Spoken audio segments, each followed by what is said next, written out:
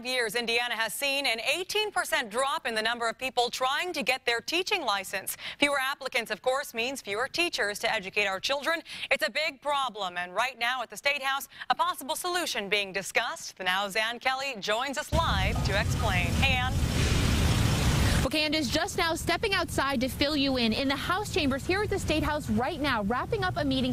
50 professionals from across our state, uh, teachers, uh, professors, educators who work with our children. They've been in there discussing this problem of teacher shortage and coming up with a list of ideas. They actually have a full list, pages of ideas. I have the draft right here. And now this draft is going to be given to legislators. It's going to help shape the legislative agenda come January 1st. Now, this group is called the Blue Ribbon Commission on the Recruitment and retention of excellent educators. State Superintendent Glenda Ritz co-chairs it, and they've been meeting regularly for the past few months.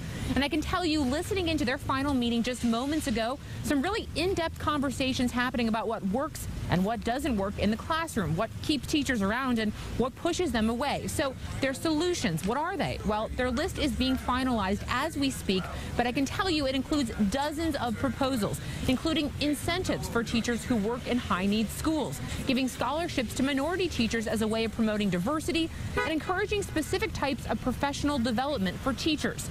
The teachers meeting here in the State House who just wrapped up that meeting, they really have a lot of ideas, and now it goes to the lawmakers to see what they do with them. Reporting live outside the State House, Ann Kelly, RTV6.